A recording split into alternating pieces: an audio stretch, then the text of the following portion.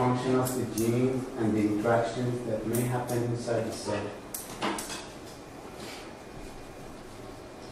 So the main players inside the cell are DNA, RNA, and proteins. And through gene expression, DNA is trans- transcribed to RNA, and RNA is translated to proteins.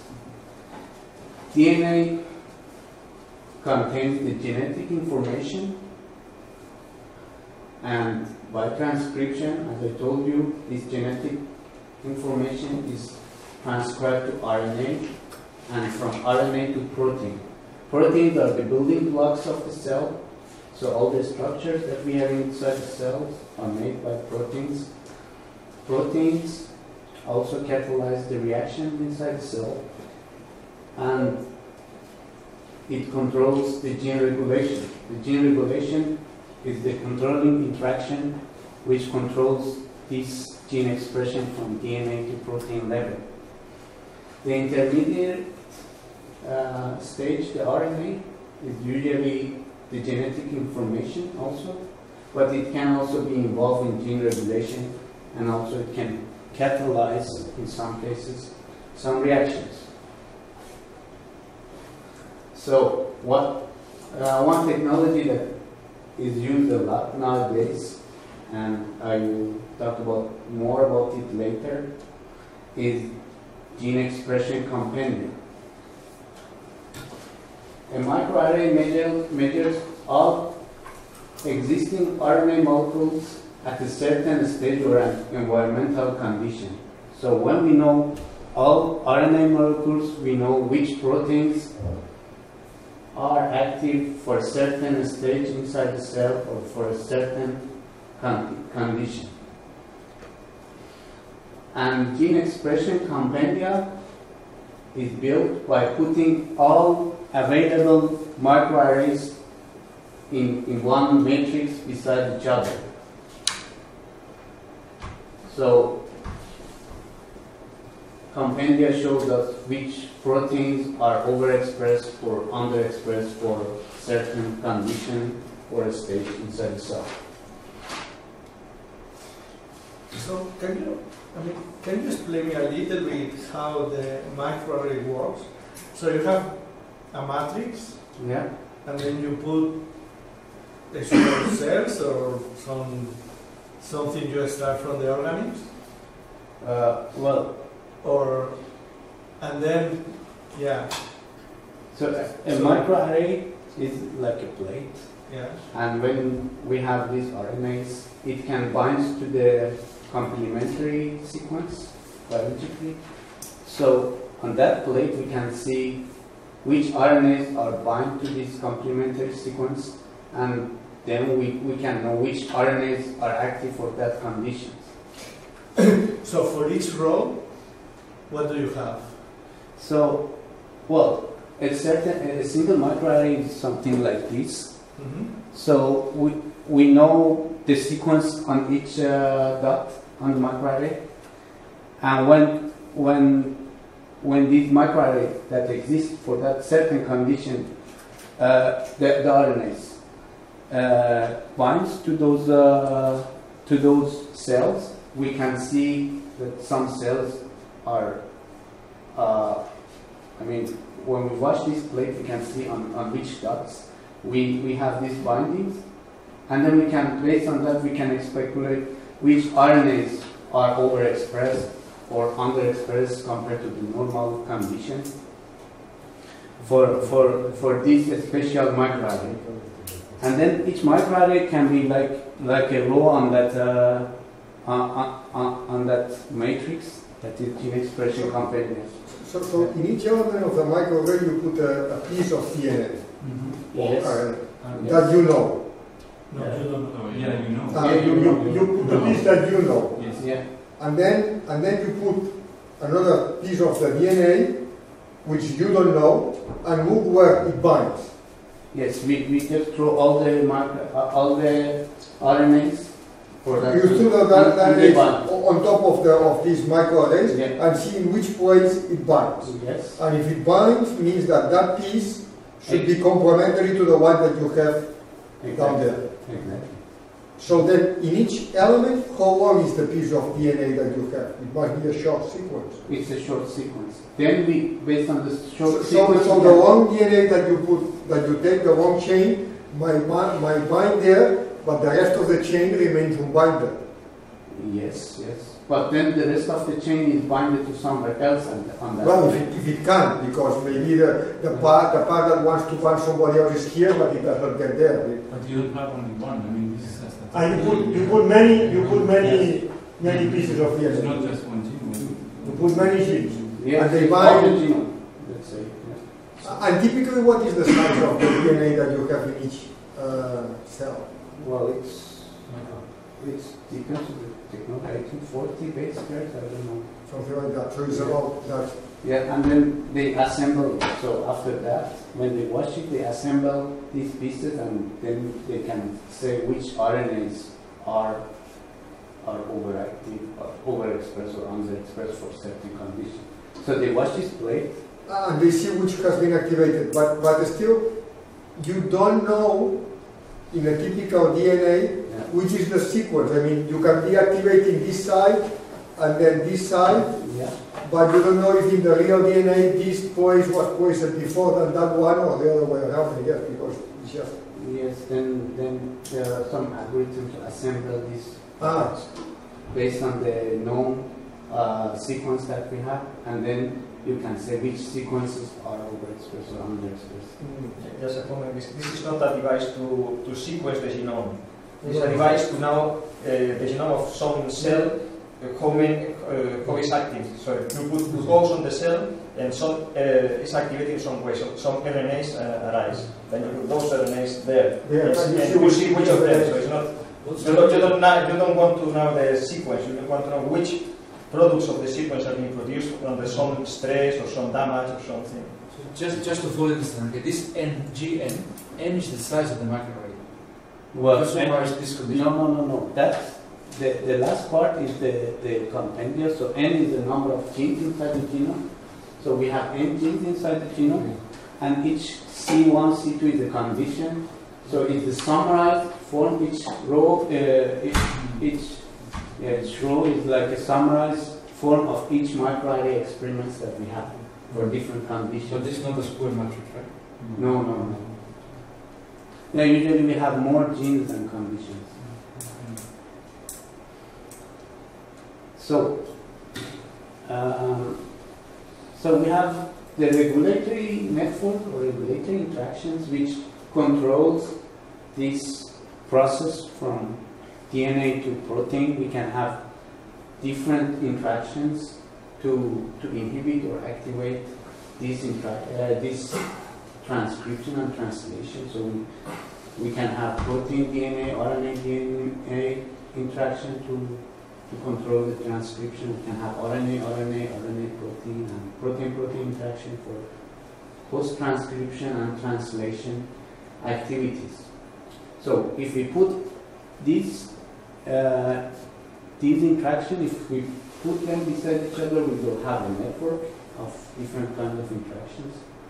And this controlling interaction, like the operating system of the computer, it controls the cell life by controlling this transcription and translation. So, one good way of representing this interaction is the graph base. So here, uh, the dots or the, vect- uh, the vertices are genes or proteins or RNAs, and when we have an arrow means that one controls the other one. We have other kind of interactions inside the cell.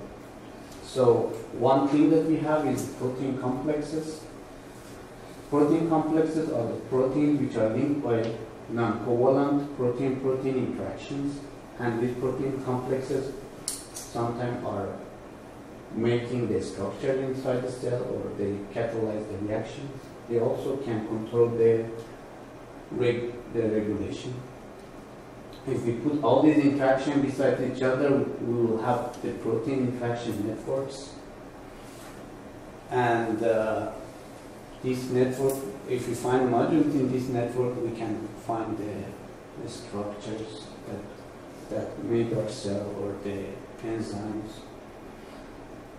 And it's also an important question to find the module inside the protein interaction network. We also have the pathway, cellular, metabolic, and signaling pathway. A pathway simply is a series of chemical reaction that one compound is, is transformed to the last compound. In metabolic case, this last compound is more useful for the, for the cell. And in signaling pathway, with this series of chemical reactions, the signal is conveyed into the cell. And as you can see, we have catalysts, and usually these catalysts are protein or protein com- uh, complexes that catalyze these reactions. We can have, if we put all the reactions beside each other, we can have also another network which is called the pathway network. So in general, we have two kind of data sources inside the cell. The first one is the cellular pathway and interaction that I, I introduced. We can have all levels of interactions: protein, DNA, protein, RNA, protein, protein. Even we can have protein compound interactions and the pathways, which are the metabolic and signaling pathways. So we can, we Yeah. can say what's the difference between both? I mean, topologically, the pathway has a beginning and, and then And and an end, whereas the other thing is just a network. Well, in, in pathway, the, the compound is also changed. Like we have the first compound and it's end uh, to the end compound. But uh, in the interaction, they just interact, so they don't catalyze any reaction. So, for example, in regulation, we control this regulation from DNA to protein. And in the protein network uh, case, sometimes they make a structure. This structure does something inside the cell, make part of the cell, but it doesn't catalyze the reaction. Well, I mean, this protein-protein interaction, usually when, I mean, very often when the protein is not joined, Yeah. they, they may be enzymes or not, but then when they, they, they bind together, then have, they may be enzymes. They can be enzymes, exactly. So, it seems- So it's more general, let's, say a protein protein interaction more general because they can be enzyme or they can be a structure. And also enzyme can be RNAs also or a complex of RNA and protein together. So the other data source that we have is, is functional data. Here the important thing is to assign a function for the gene. The most uh, famous and useful uh, data source is gene ontology terms, where in gene ontology terms, each term contains some genes. So it's, it, for some genes, we give a function. So the topology of these gene ontology terms is a directed acyclic graph, as you can see there. Yeah. And uh, it, when on the top of this directed acyclic graph, there are more general terms. So something like metabolic, and and many genes may have this uh, this term. And as you go down, there are more specific terms. Um, and when we have usually, I mean, always the, the parent term contains all the genes of the of the child one. So you see the, the size of the the terms decreases when you go down in this directed acyclic graph. The other data source for the function is gene co-expression. When, when some genes are co-expressed at the same time, it means that they should be involved in, in the same biological processes, or they should have related function. And the best way to assess the co-expression of genes is microarray compendia because it can show for which conditions or state which genes are co-expressed. There are other data sources, but for this work we use the compendia that we have for E. And now I will talk about the relation between the regulatory interaction network, which is the controlling network of the gene expression, and other data sources inside the cell. So simply, we have something like this. A signal is conveyed into the cell with signaling pathway, and then we have regulatory network, and this regulatory network controls the expression of metabolic pathways, structural and functional components, which are some interactive protein, proteins, and also it also controls the expression of signaling pathways itself. We know that the outcome usually is very conserved when we look at the evolution, so metabolic pathways and structure and functional components are very conserved in the evolution, while the regulatory network is highly divergent even for closer species. So the question is how come the, the outcome of the regulation, which is the co-expression, is so conserved and also these things which is also outcome of the regulation are so conserved, but the regulatory network is so divergent. This divergence of regulatory network helps the organism to adapt itself to the new environment. So for to answer this question, we should give a measure for the regulation of genes. So we define the new co-regulatory similarity measure. And we will show that this regulatory measure that that we describe, it can it can predict the co-expression inside the cell. And then we look into the mutual relation between the genes involved in similar biological process and the regulatory network of them.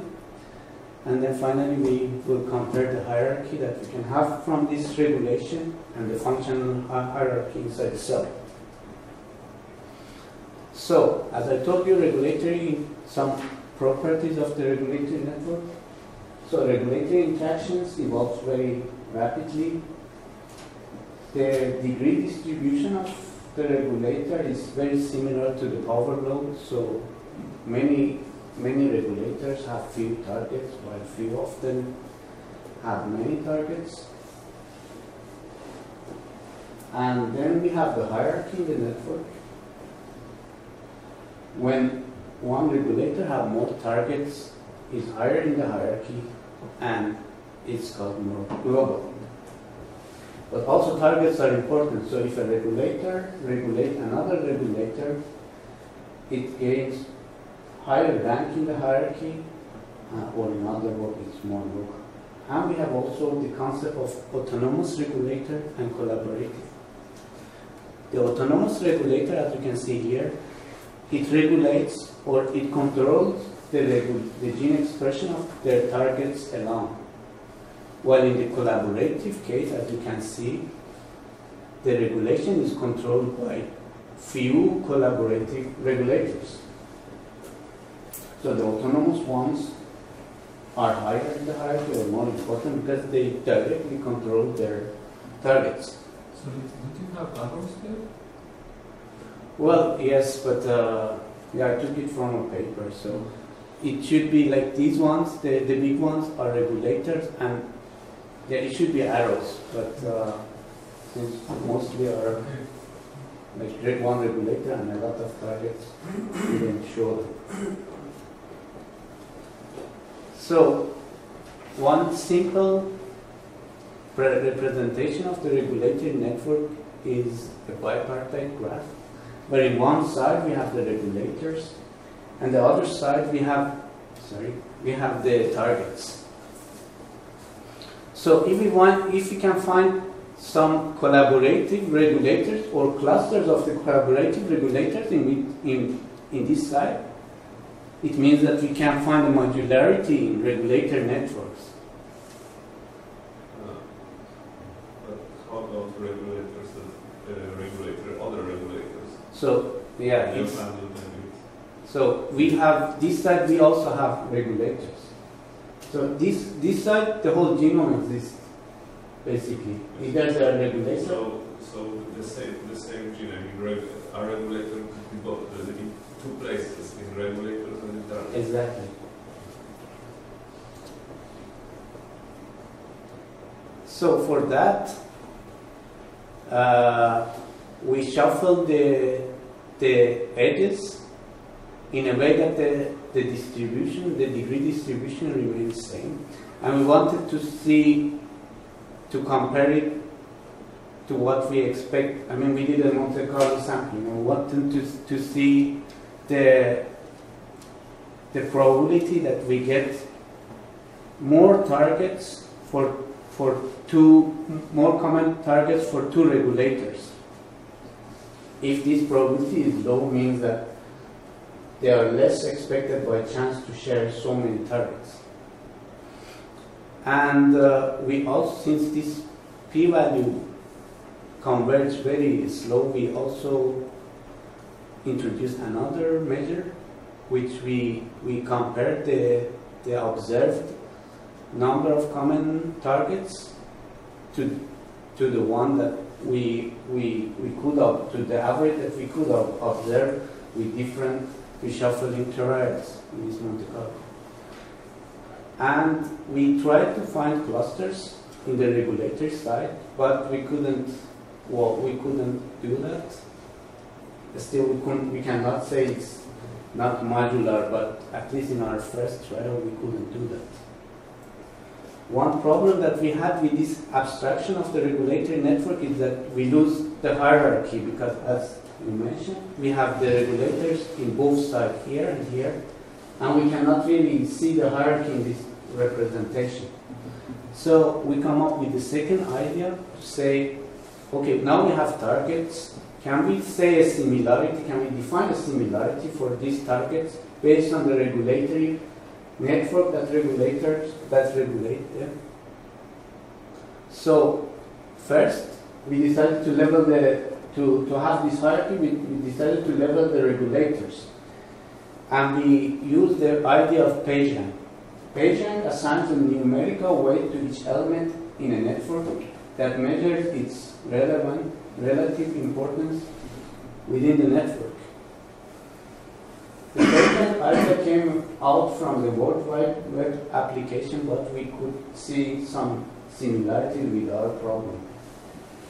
So in World Wide Web, the importance of page comes uh, from the number of their hits. So if one page gets receives more hits, it's more important.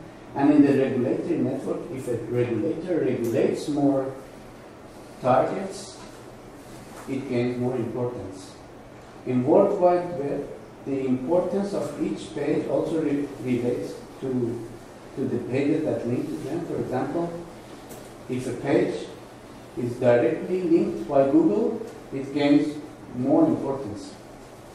And in the regulatory network, if a regulator regulates another regulator, especially more global regulator, it, it is more important regulator. So by this we can have like more global regulators which have higher page rank and more local ones which have the lower rank.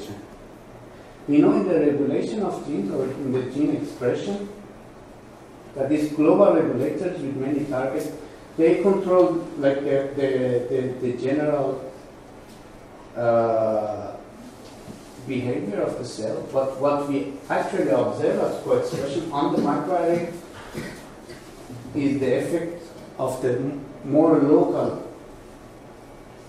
regulators. So when we see some genes are co- co-expressed, mostly because of the local regulator which have less target, but it controls the expression of those less tar- targets.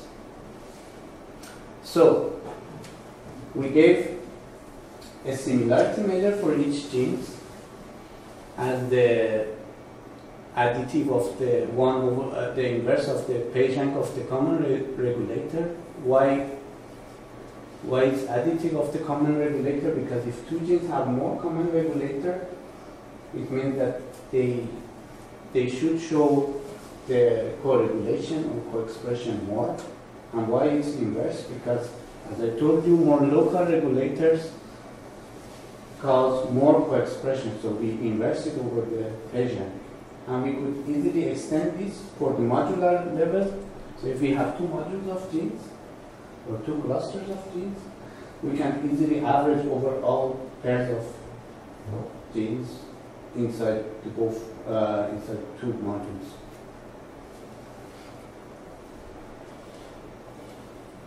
So we could calculate the co-regulatory similarity for all pairs inside the gene. you can see in this plot. And to to see the co-expression inside the gene, we use the Pearson correlation across all conditions. We use it on the E. coli compendia. And as you can see, we, we had something like Gaussian distribution. And now we should show that the, the co-regulatory similarity that we defined is uh, highlight the co-expression. So basically, the, the, the gene pairs on the left tail should be the, should be the gene pair on the left and right tail of this Gaussian distribution. So the, the simplest test that we could use was the Kolmogorov Smirnov.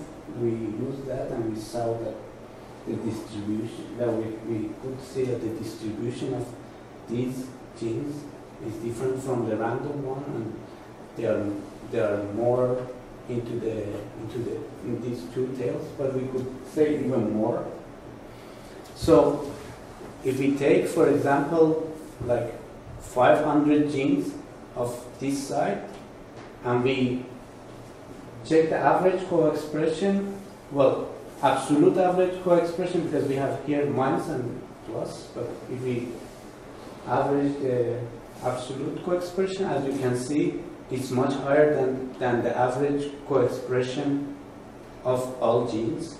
And as we take less genes, but more co-regulated, it's more different from the, and much higher than the, the co-expression of, of the all genes inside the cell.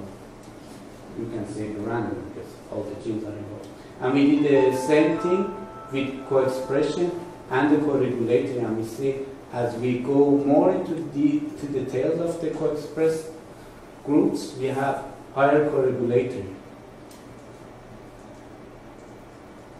Then we, we wanted to see the modules that we actually have, like the pathways or the protein-protein interaction modules, which are the structural and functional components. If we can predict them with the regulatory network or not. So for that, we took the genes which are involved in same metabolic or sorry or signaling pathway from EcoCyc from the database, uh, which has which has a database that have the genes which are involved in the same pathway. And to, to detect the modules inside the protein network, protein interaction network, we use OSLOM. We use it over the protein interaction network, and OSLOM has some advantages to, to the other uh, clustering net- networks for for the for for network or for the graph thing.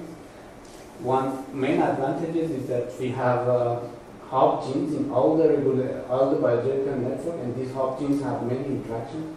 So these hub genes should be in several different modules, and when we compare the OSLOM results with the other methods, it could put these hub in several modules. We also use OSLOM to find the modules based on the co-regulator similarities. So the modules here means that the, the genes which should be co-expressed, or in other words, the gene have some similarity in the regulation. And then we compare those two, the, the actual module inside the cell and what we expected. And interestingly, we could see a good uh, relation.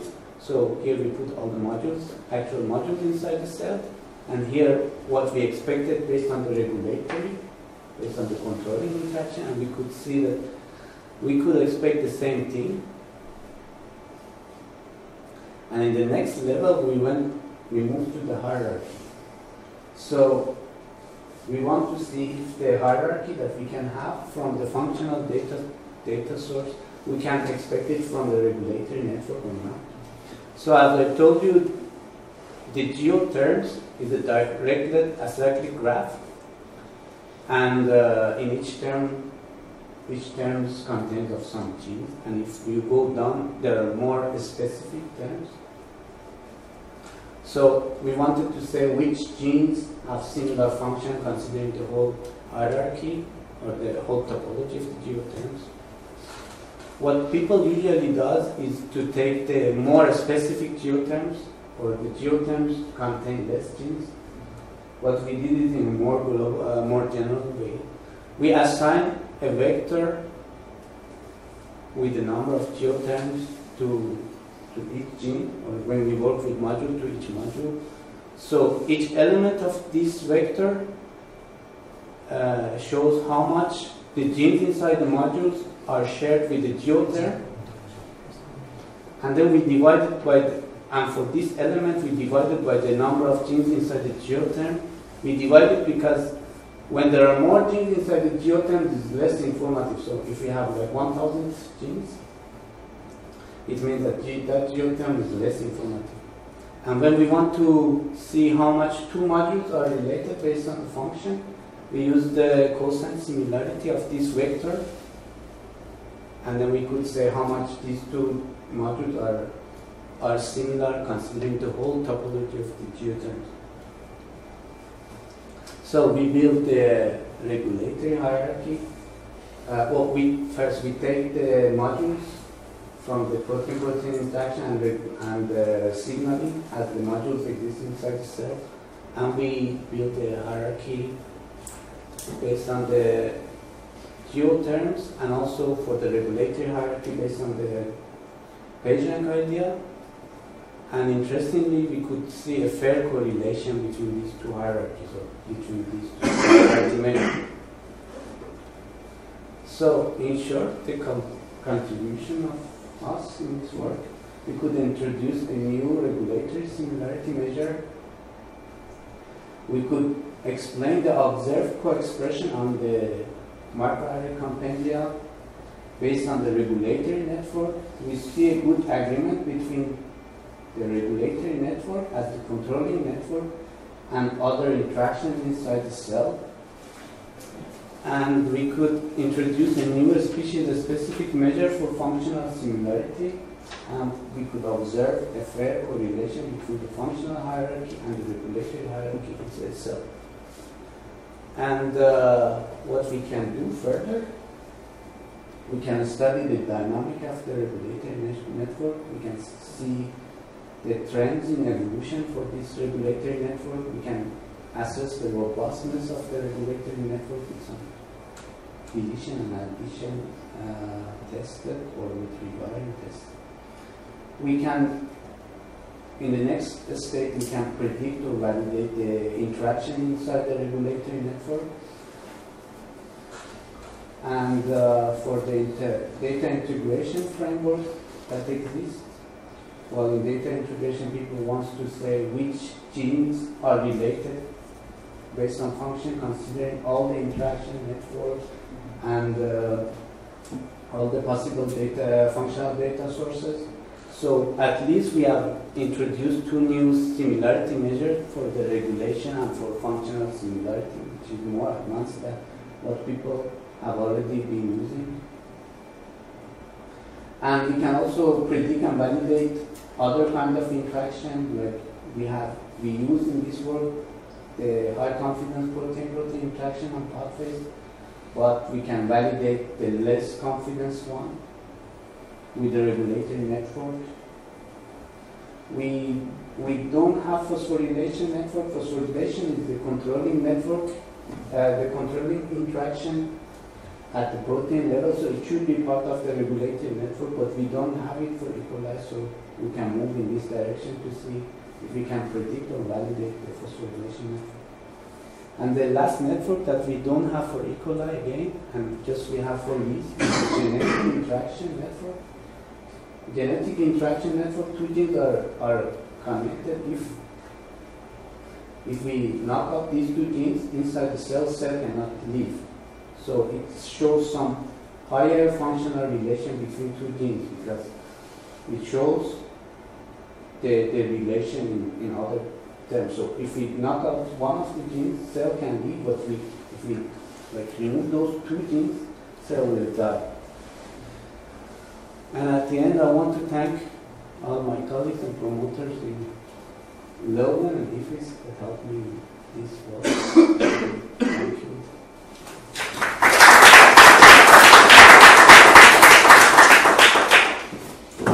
So, time for questions, comments. One question, what exactly do you mean by evolution of regulatory network? So, yeah, we can have a lot of rewiring with the, with the regulatory network so they can shoot the target. We can have the deletion or insertion. So but what do you, what, what isn't regulatory network just something that you have in a living organism? Yeah, yeah. In one organism we have one regulatory network, but when we compare it between organisms, then we can oh. see the evolution. I see, so basically would be comparing different organisms. Yes, exactly. So we can compare the interaction between two organisms. Yeah, but then you are, but, but then you still have to, you are basically guessing how, how is their, uh, sort of guessing what is their actual evolutionary relation between these two organisms. Well, that's true. I'm, sure have data for organisms like every uh, hundred thousand years. Uh, well, no, then, but we, we take organism very close, so if it's like too close bacteria or too close yeast, we can have enough data for both, and then we can compare the, the regulator. And now we have some idea what the dynamics of the, the how this regulated network work, so we can see if it is help in both. Uh, organism or not? And what is the trend that we can sweep these interactions and get something stable for, for the next organism? So this, you were showing at the beginning that this uh, gene ontology network uh, about the function. Yes. Uh, how is that? I mean, how did people arrive to that? I mean, is it just? I mean, in, in a way, related question. What, what is a function? I mean, how how do they define function? Okay. Yeah, it's a good question. So this, the, the gene ontology terms is a concrete thing. So they say this function but is you had before you had a, a graph with the more. yeah. um, So, yeah, so we have a, like a concrete graph for all the organisms. So we have this function, and then they put the gene that they know for each species, they put the gene that they know that have that function. So the same GO term exists, the terms is similar for human, mouse, bacteria, but the, the, the genes inside is different. So human has perhaps more genes in all those terms, and they have like genes for some specific terms, while But what, what is the function? I cannot read there, it's too small. I mean, so some examples of what, what is each uh, of those uh, nodes? I mean, yeah, is it uh, glucose, uh, So you it's- know, the digestion or, or so it's like biological process, cellular process, and it's getting more specific. Cell, um, something, and this is Transcription from RNA, Pol 2, transcription DNA dependent, phosphoryl translations, I suppose, and the apoptosis. So these just are like in more- checkpoint. These are totally arbitrary definitions of things. I mean, it's like, uh, I don't know, you can put also talking there. No? I mean, Well, it's a function, but uh, these are like, a, well, the biologists try to standardize the function to compare it between the organism. So they, they, they put a, tree, like a concrete hierarchy, and then they define these things like, so these are the things that biologists, biologists define. So maybe some functions don't exist for one organism, but then they don't put any genes in that specific genotype. No, This is an agreement between experts, right? So Yeah, it's like expert based. But the point is that this graph is a hierarchical graph based on, on the top you have general function. For example, metabolic pathways. And on the bottom you have the specific function for an enzyme. So from the top you have metabolic function. In the next level you have lipid metabolism, glu- uh, glucolysis, uh, glu- um, and. And then next level, from the lipid you have uh, ceramides, um, yeah, sphingomyelin, whatever. And then you go to the next level. You can call it arbitrary. Yeah, but probably something like taxonomies in organisms. Some, some, some, some arbitrariness that people agree with that is represents some arbitrariness. Then That's obvious that a specific function is inside a general category. But that's something obvious. It's arbitrary or it's obvious. Yes, I wanted to ask, you have shown that if you know the regular, regulatory network, you can predict which genes will be expressed under some circumstances. But I, I missed, how do you measure, first, first all, measuring the regulatory network itself? Yeah, we, we download it from the from the database. But I mean, but, yeah, but it's, it's a method which is independent on the co-expression. Don't they use microarrays also? It's like No, no. Well, there are different ways, but uh, uh, as far as I know, they use other chips. Uh, so, uh, like you know, these proteins are binds to the to the gene and give the give the rise to the to the expression, gene expression. So they look for the binding site and they check, they check it in the other chip. So they give, this time they give the binding site and they look if the protein can, protein or the RNA which are involved in the regulator can bind to these binding sites or not. You know, if they regulate or not. Yes, so the technology is more or less similar to the like these chip things. Like on the chip we have a we have a sequence, but this time the sequence are not the sequence of the gene, but the sequence of the upstream part, which are like the, the part for the control. So I have a question. My, my question is the following. So you say that uh, the regular, regulatory network adapts, right? So in a time scale that is shorter than the protein one. Then it's evolve much faster. yes. So then what do you learn from here in, uh, in the following sense? If the regulatory network changes, Yes, but the protein are basically behaving in the same way, yes. so what is really changing? So the the the, the, the change the organisms, I mean. is the environment. So here you see the regulator is directly related to the uh, environment. So it has two functions. First, it should get the signal from the environment, and then it it start to regulate different things inside the cell. So these signals change very fast when the when because the, the different organisms should adapt themselves to the new environment. So the idea is that several uh, regulatory networks should regulate the same The same protein. exactly. So the more uh, the, um, adaptability, I mean, the more possibilities you have for for changing the interaction while keeping the, the protein functionality in the same way, the better for the. Exactly. So we should like, uh, we should answer how it is possible. Like how how how come it's so flexible in, in rewiring, and the the outcome can be so stable because these these metabolic pathways are very stable. Or the the, the structural protein, like these structures that we have inside the cell are very conserved. We have the conservation between between human and yeast, which is like what's one cell in this level. But what actually changes is is controlling circuits, which they regulate in regulator notice. Okay, so any further question? No. So thanks for the talk.